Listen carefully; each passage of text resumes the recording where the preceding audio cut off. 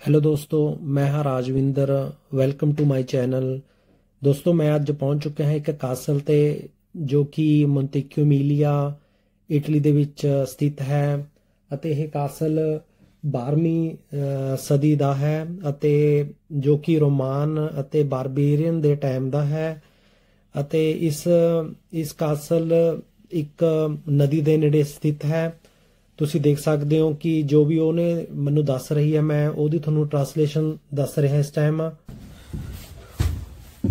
ਉਹ Allora, qua siamo alla base del maschio Sì. e mm, la chiamiamo sala delle armi perché Sala. come vede ci sono varie armi, stemmi, Sì. uniformi tipiche del periodo garibaldino, originali del periodo garibaldino, Sì. che ci furono donate a- al comune di Montecchio, infatti la nostra biblioteca è anche intitolata a colui che ce le ha donate.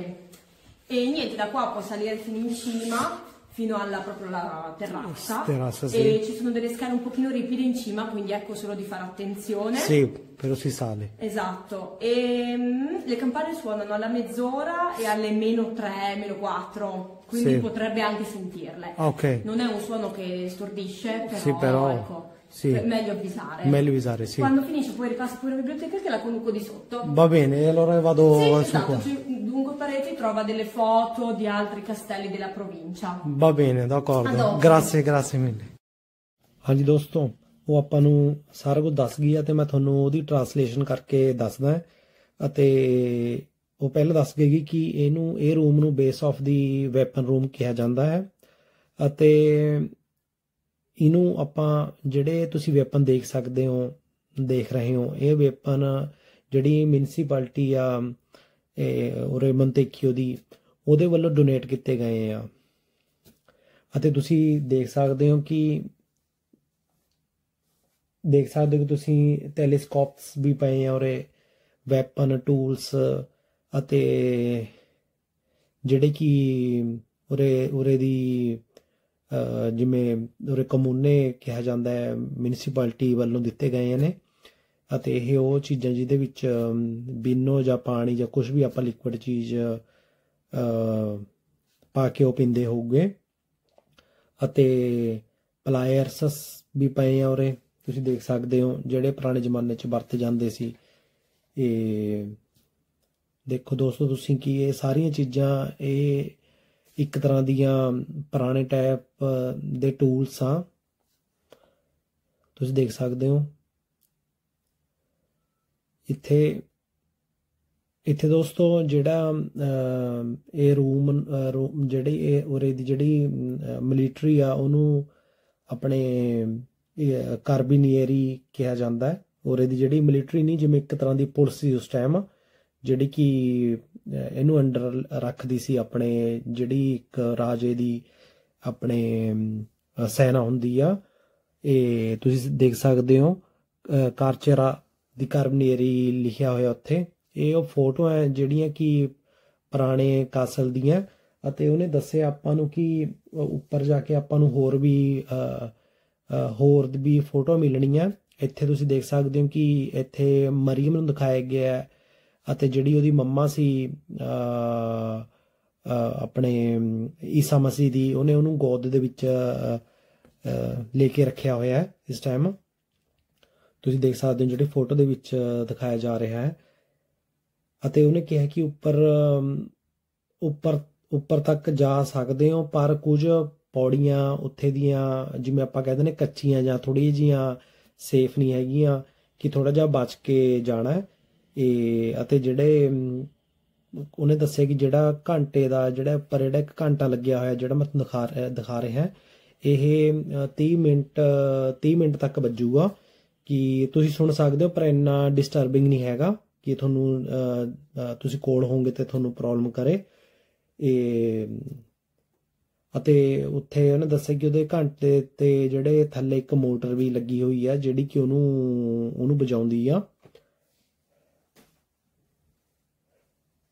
ਅਤੇ ਤੁਸੀਂ ਦੇਖ ਸਕਦੇ ਹੋ, ਇਹ ਸਾਰੀਆਂ ਉਹ ਪੁਰਾਣੀਆਂ ਤਸਵੀਰਾਂ, ਜਿਵੇਂ ਉਹਨੇ ਦੱਸਿਆ ਕਿ ਇਹ ਕੈਸ ਕਾਸਲ ਦੀਆਂ ਨਹੀਂ ਹੈਗੀਆਂ, ਹੋਰ ਵੀ ਕਾਸਲ ਦੀਆਂ ਸਾਰੀਆਂ ਪੁਰਾਣੀ ਤਸਵੀਰਾਂ ਤੁਸੀਂ ਦੇਖ ਸਕਦੇ ਹੋ ਰੇ ਆ ਉੱਪਰ ਤੇ ਜਿਹੜਾ ਵਿਲੇਜ ਆ ਤੁਸੀਂ ਉਹ ਦੇਖ ਸਕਦੇ ਹੋ ਕਿ ਕਿਵੇਂ ਦਾ ਵਿਲੇਜ ਆ ਸਾਰੀਆਂ ਹਿਸਟੋਰਿਕ ਫੋਟੋ ਹੈ। ਇਹ ਇਹਨਾਂ ਦੇ ਕੇਜ ਦੀ ਜਿਹਨੂੰ ਚਰਚ ਕਹਿੰਦੇ ਆ, ਜਿਹੜਾ ਪੁਰਾਣਾ ਉਰੇ ਦਾ ਚਰਚ ਸੀ, ਹੈ ਉਸ, ਉਸੀ ਜਗ੍ਹਾ ਦੀ ਹੈ ਹੁਣ ਵੀ। ਪਰ ਲੇਕਿਨ ਇਹ ਉਹ ਪੁਰਾਣੀ ਫੋਟੋ ਹੈ ਜਿਹੜੀ ਪਹਿਲਾਂ ਦੀ ਚਰਚ ਸੀ ਚਰਚ ਉੱਥੀ ਹੈ ਇਸ ਟਾਈਮ ਵੀ। ਤੁਸੀਂ ਦੇਖ ਸਕਦੇ ਹੋ ਇਹ ਜਿਹੜੀਆਂ ਆਪਣੇ ਹੈਲਮਟ ਉਹਨਾਂ ਦੇ ਪ੍ਰੋਟੈਕਟ ਹੈੱਡ ਨੂੰ ਰੱਖਣ ਵਾਸਤੇ ਟੋਪੀਆਂ ਨਾਰਮਲ ਜਿਹੜੀਆਂ ਉਸ ਟਾਈਮ ਦੇ ਸੈਨਿਕ ਲੰਦੇ ਹੁੰਦੇ ਸੀ। ਤੁਸੀਂ ਦੇਖ ਸਕਦੇ ਹੋ ਦੋਸਤੋ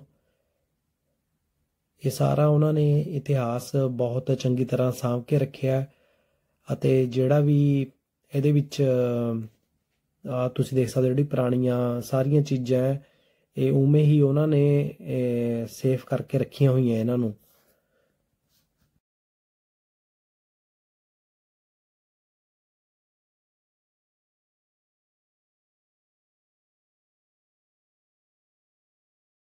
ਤੇ ਦੋਸਤੋ ਆਪਾਂ ਨੂੰ ਇੱਕ ਅਸਲ ਦੇ ਹਿਸਟੋਰਿਕ ਹਿਸਟਰੀ ਬਾਰੇ ਵੀ ਪਤਾ ਹੋਣਾ ਚਾਹੀਦਾ ਜਿਹੜੀ ਮੇਨ ਮੇਨ ਪੁਆਇੰਟ ਮੇਨ ਗੱਲ ਹੈ।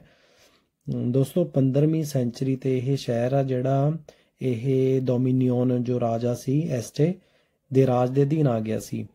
ਅਤੇ ਆਹ ਉਹ ਮਸ਼ੀਨ ਆ ਜਿਹੜੀ ਉੱਪਰ ਹੈਲਪ ਕਰਦੀ ਆ ਉਹਨੂੰ ਘੰਟੇ ਨੂੰ ਵਜਾਉਣ ਦੀ। ਅਤੇ ਆਓ ਪੌੜੀਆਂ ਦੀ ਗੱਲਾਂ ਕਰਦੀ ਸੀ ਕਿ ਜਿਹੜੀਆਂ ਥੋੜੀ ਜੀਆਂ ਸੇਫ ਨਹੀਂ ਹੈਗੀਆਂ। ਅਤੇ ਆਹ ਦਰਵਾਜ਼ਾ ਜਿਵੇਂ ਮੇਨ ਉੱਚੇ ਮੇਨ ਅਖੀਰਲਾ ਦਰਵਾਜ਼ਾ ਦੱਸਦੀ ਸੀ ਉਹ। ਅਤੇ ਹੁਣ ਤੁਸੀਂ ਦੇਖ ਸਕਦੇ ਹੋ ਕਿ ਆਪਾਂ ਜਿਹੜਾ ਕਾਸਲ ਦਾ ਸਭ ਤੋਂ ਉੱਚਾ ਟਾਵਰ ਆ, ਇਹ ਉੱਥੇ ਆਪਾਂ ਹੁਣ ਪਹੁੰਚ ਚੁੱਕੇ ਹਾਂ ਦੋਸਤੋ। ਆ ਦੇਖ ਸਕਦੇ ਹੋ ਤੁਸੀਂ ਜਿਹੜਾ ਇਹ ਉੱਥੇ ਦਾ ਉੱਪਰਲਾ ਆਪਣਾ ਇਹ ਸਟਰਕਚਰ ਆ, ਇਹ ਤੁਸੀਂ ਦੇਖ ਸਕਦੇ ਹੋ ਜਿਹੜੀ ਇਹ ਬੈਲ ਆ, ਜਿਹੜੀ ਇਹਨੂੰ ਮਦਦ ਕਰਦੀ ਆ ਪੁਸ਼ ਕਰਦੀ ਆ, ਅਤੇ ਫਿਰ ਇਹ ਹਿੱਲਦਾ ਵਜਾਉਣ 'ਚ। ਅਤੇ ਦੋਸਤੋ 18ਵੀਂ ਸਦੀ ਦੇ ਅਖੀਰ ਤੇ ਵੀ 1960 ਤੱਕ ਇਹ ਜੇਲ੍ਹ ਦੇ ਤੌਰ ਤੇ ਵੀ ਵਰਤਿਆ ਗਿਆ ਹੈ, ਜਿਹੜਾ ਇਹ ਕੈਸਲ ਆ। ਇਹ ਉਹ ਤੋਂ ਬਾਅਦ ਇਹ ਨਾਰਮਲ ਫ੍ਰੀ ਕਰ ਦਿੱਤਾ ਸੀ। ਇਹ ਇਸ ਕਰਕੇ ਆ, ਤੁਸੀਂ ਦੇਖ ਸਕਦੇ ਹੋ ਹੁਣ ਵਿਊ ਸਾਰਾ। Come dicevo, ha cambiato funzione, struttura diverse volte. Sì. Era un- questo era un piano abitativo, sì eh, il piano nobile, quindi dove vivevano appunto i padroni. sì Eh, solo che poi per un periodo è stato anche una, una prigione, cosa un po' inusuale perché siamo al primo piano, Piano, di solito sono magari sotto, nei sotterranei. Invece qua è stata, è stata appunto adibita a, a prigione e le cose che lo, lo segnano, lo indicano sono la doppia porta, Sì. è tipica delle prigioni per prendersi appunto eh, cura, tra virgolette, dei, dei- dei carcerati. Sì. Le finestre, Sì, ovviamente. finestre quadrate. che- sì. E poi abbiamo due, due incisioni che ci furono lasciate da sempre appunto dei prigionieri, un disegno lassù nell'angolo e poi questa scritta, in particolare questa qua, sembra fosse un, Che erano linguaggio prigio- sì. dell'est, dell'est Europa. Sembra. sì che sì eh, prigionieri forse li hanno Esatto, non so, magari hanno rimediato qualche pezzo, Pezzo di di- metallo, qualcosa Sì, con cui l'hanno che hanno scritto sì Esatto. E il pavimento non è quello originale, ma è Sì, stato rifatto è stato fatto. motivi poi di restyling. Sì E basta in realtà. e, e poi a parte di là Da parte eh, di là la sala dell'affresco sì viene chiamata così perché, vabbè, questa è la nostra biblioteca ragazzi. sì Eh, però la, la chiamiamo così perché appunto in quella finestra murata, come si può vedere, Sì. c'è un, un affresco a tematica religiosa. sì Ora non mi ricordo esattamente quando risale, del 300. È un affresco del 300. ah 300 Esatto. e poi ehm, per che motivo è religiosa quel posto Beh, si può notare per esempio da- dalla Madonna sì col bambino, esatto, e l'altra figura è un santo che dovrebbe essere San Giacomo. San Giacomo Esatto. E poi c'è anche un, C'è anche cosa- tutto un tipo di animale, penso, Sì. non so, forse non so se era un animale da compagnia, Sì. se simboleggia qualche tema in particolare. sì. ho capito. Quello ci rimane, quello che ci rimane, perché in realtà si può vedere che era un po' più grande prima, Sì, eh, però si vede che questo è quello che ci, che ci è rimasto. si è accorto.